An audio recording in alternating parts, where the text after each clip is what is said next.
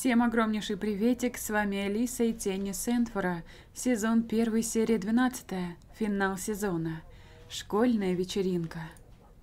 Прошло еще несколько дней, когда тебя вызвали на допрос. На этот раз с тобой пошла мама. Пока вы ждали в приемной, ты нервно перебирала журналы, заранее продумывая ответ на любой вопрос. Наконец к вам подошел шериф и провел к своему столу. Думаю, ты понимаешь, почему я тебя вызвал. Он что-то говорил, но ты отвечала на автомате. Тебе не верилось, что все это произошло с тобой, поэтому ложь давалась легко. И ты в который раз повторила. Я не знаю. Сара, я еще раз задаю вопрос. Ты говорила, что мисс Бейкер убила уборщика. Он действительно пропал, как, собственно, и учительница. Сара уже сказала вам, что ничего не знает. Хорошо. Шериф откинулся на спинку стула, порылся в бумагах. Пришли результаты теста на запрещенные препараты. Чего ты опять ржешь, шериф? У некоторых учеников были замечены следы принятия этих веществ, но нас озадачило кое-что другое. У Сэма и его отчима после смерти... После смерти? Отчим Сэма мертв? Вас это не касается. Ну так зачем ты вообще упоминал тогда? Его убила Писадейра? В общем, в их крови был обнаружен определенный яд, который в малых дозах содержится в CP-25. Что это? Препараты, которые недавно стали производить в Сентфоре или в округе, нам пока неизвестно, где именно. Они добывают яд с этих цветов. Улика. О. Знакомы эти цветы? Ты заметила на его губах легкую усмешку. На что вы намекаете? Следы этого яда были найдены в крови вашей дочери, мисс Анил. Что? Этого не может быть. Мама, я ничего не принимала. Успокойтесь, доза слишком мала. Может, ты как-то соприкасалась с этими цветами? Я могу сказать как есть, но поверят ли мне? Сказать правду или соврать? Так, э, я нашла такой цветок под трупом Сэма. Странно. Мы не находили никаких цветов под Сэмом в ту ночь. Ты пожала плечами. Шериф странно посмотрел на тебя, но больше вопросов не задавал. Наконец допрос был окончен. Когда ты вышла из полицейского участка, на душе было чувство облегчения. Все позади. Ты стояла у обрыва, слушая, как течет река. Платье развивалось, хлопая от ветра по ногам. Ты не спасла меня. А? Обернулась на голос и замерла, испугавшись. Мисс Бейкер мертва. У нее в руках были зажаты фиолетовые цветы. Она замахала ими перед твоим лицом. Посмотри, что ты со мной сделала. А... Нет. Мисс Бейкер подошла ближе и резким движением толкнула в грудь. Руки попытались уцепиться за что-то, но хватали лишь воздух. А! Ты упала в пропасть. Осознание пришло спустя несколько секунд вместе с чувством падения. Твой крик оглушительным эхом прошелся по округе. Нет!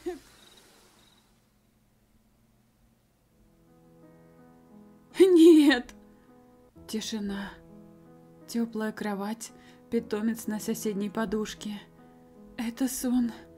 Просто сон. Ты посмотрела на руки. А? Они были в фиолетовой пыльце. Ты вскочила, почти в истерике отряхнулась. Надо поговорить с Бобби. Может, он что-то знает об этом цветке? Тук-тук, можно? Да. Скоро все начнется, а ты даже не оделась. Что начнется? Что же значит этот цветок? Ты еще не проснулась? Скоро начнется ваша школьная вечеринка в честь открытия Америки Колумбом. А, да, точно. Так и что же наденешь сегодня? Ты немного замешкалась, но настроение быстро поднялось. В порыве подскочила к шкафу и распахнула дверцы. Платье с принтом? Очень яркое, прям капец вырви глаз. О, элегантное платье, обалденное и простое. Мы берем элегант... Ой, и дополнительные бесплатные наряды. Но мы берем элегантное платье.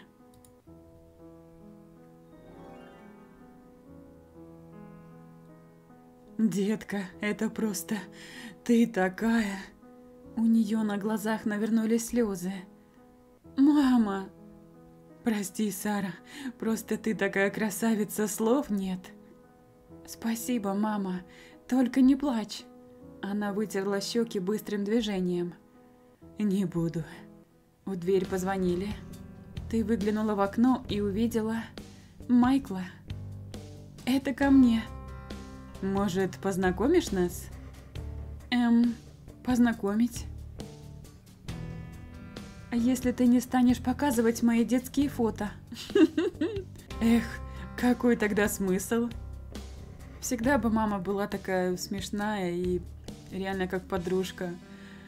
Вы спустились в гостиную, мама открыла входную дверь, а на пороге стоял Майкл. На секунду он удивился, но быстро сориентировался. Галантно поцеловал маме руку. Ничего себе! Ух ты, какой крутой! Здравствуйте, мисс Анил. Меня зовут Майкл.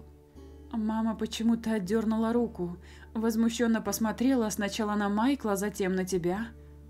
Так, значит, вот кто твой ухажер. Ну все. Только я похвалила маму, она теперь вот показала себя. А в чем дело? Мама снова посмотрела на Майкла, оглядела его с головы до ног. На его лице застыла странная ухмылка, будто он понял, в чем дело, и, как бы принимая вызов, выпрямил плечи и расставил ноги. «Мне шериф Никсон рассказывал о тебе».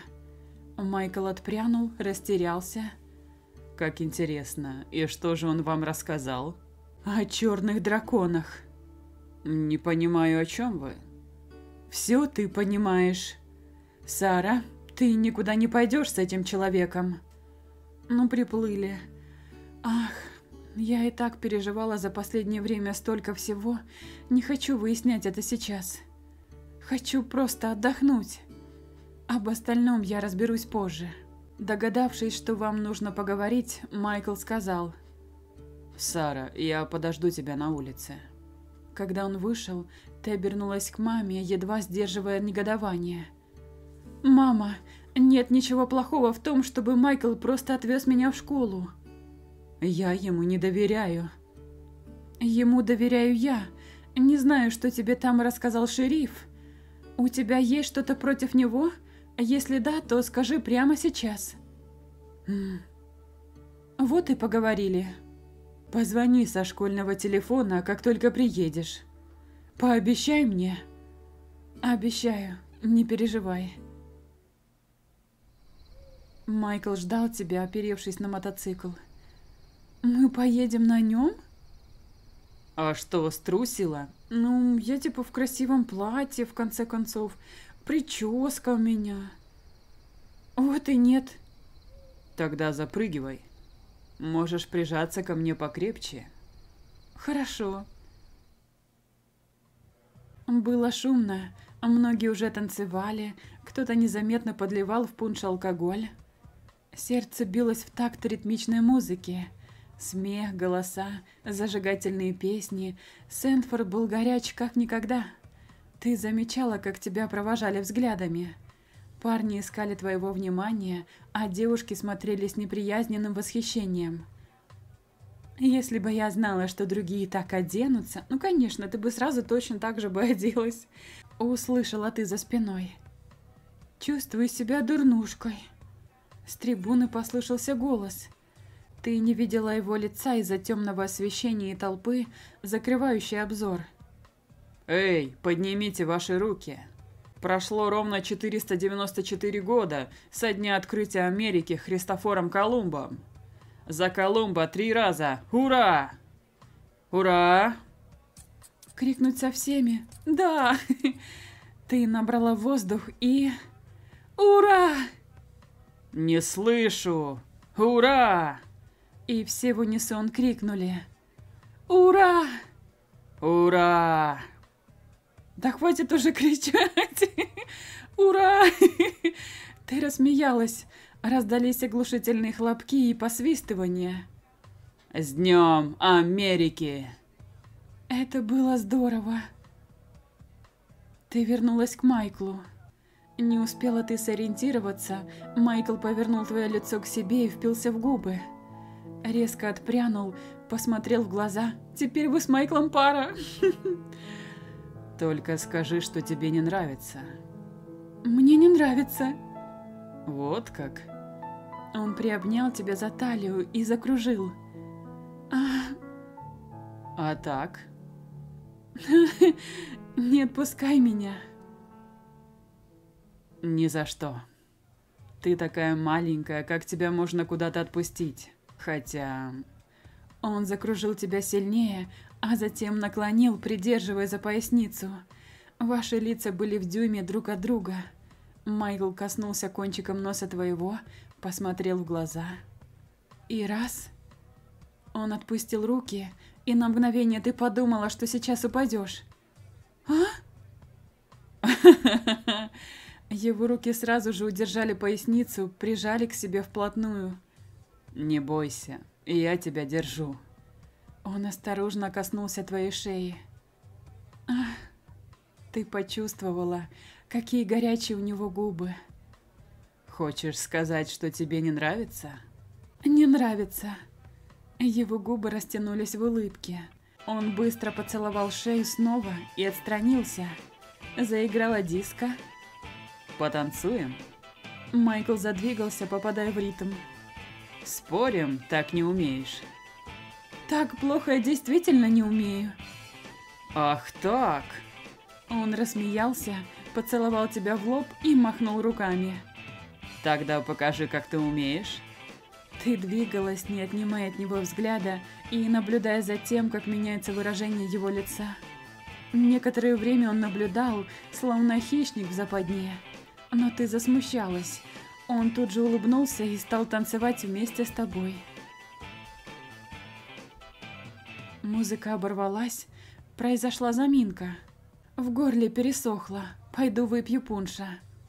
У столика с выпивкой стояла Адель. Она пустила слух о нас с Майклом. Нужно разобраться. Адель, можно тебя на минутку? Чего тебе? Надо поговорить. Ты ушла в сторону от остальных в надежде, что Адель пойдет за тобой но она осталась на месте, разговаривая с компанией, стоявшей рядом. До тебя долетали обрывки ее слов. «Бедная девочка, повелась на Майкла. Это ты о себе, зайка?» «Неудивительно, таким дешевым. Лишь бы...» «Нужно держать репутацию. Ее мама не учила?» Все рассмеялись, бросая на тебя насмешливые взгляды. Ты сгорала от чувства злости и унижения, тебя бросило в жар. Адель это просто так с рук не сойдет. Ауч! Тебя чуть не снес Стив. Чего встала? Он оттолкнул тебя в сторону и, качаясь от выпитого, двинулся к Адель.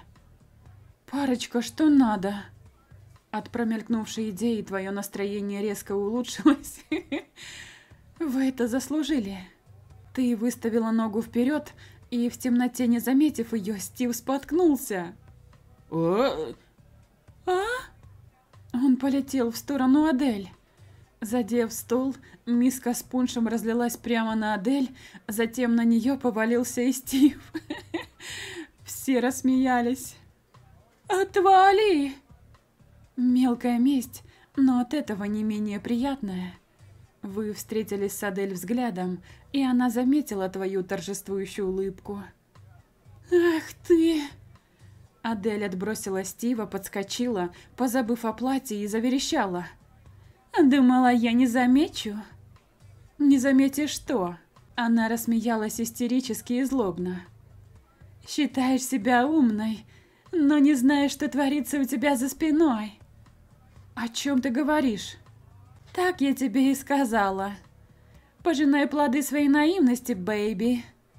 Адель посмотрела на свое платье, кинула напоследок взгляд, полный презрения, и скрылась в толпе. О чем она?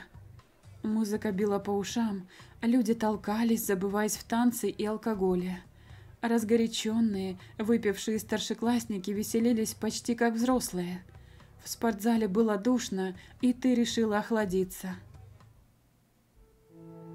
На улице воздух был свежий, даже немножко морозный. «Убегаешь от меня?» «От тебя разве убежишь?» Майкл подошел сзади, приобнял за талию и прижал к себе. Он наклонился над ухом и прошептал. «Только если попросишь за тобой не идти». «Не боишься, что Адель увидит нас и устроит скандал? Она и так в ярости». «Думаешь, мне есть до этого дело?» Ты почувствовала его дыхание над самым ухом. Закрыла глаза, отдаваясь ощущениям, а когда открыла, увидела черную фигуру, стоящую вдали.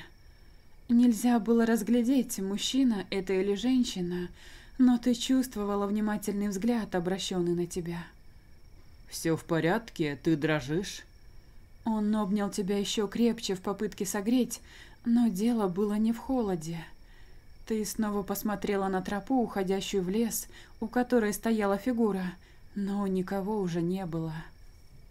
Ничего, показалось, что увидела кого-то. Пойдем? Вы вернулись в школу.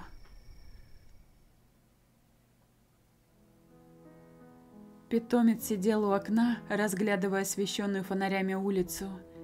Хозяйка будет не скоро. Пусть веселится.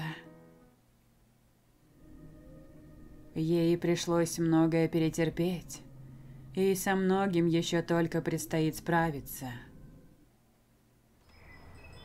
Вместе с друзьями разгадать немало загадок, проверить себя на прочность. Ей еще со многим нужно разобраться. Хм. Но найдет ли она в себе силы? М -м, прелесть. Шикарная просто глава, она хоть и коротенькая, ну, в сравнении с предыдущими, но она такая, знаете, дала возможность как-то немножко выдохнуть, прийти в себя и набраться сил для последующей борьбы. Очень красиво закончился сезон. И романтика была, и такая небольшая месть Адель. Ну и напоследок обманчивое ощущение, что все закончилось. Ах, ну, как сказала наша кошечка, все еще впереди. Друзья, плейлист истории вы всегда найдете в описании под видео. И спасибо всем, кто читает вместе со мной. А с вами была Алиса. До встречи в следующем видео. Всем пока-пока.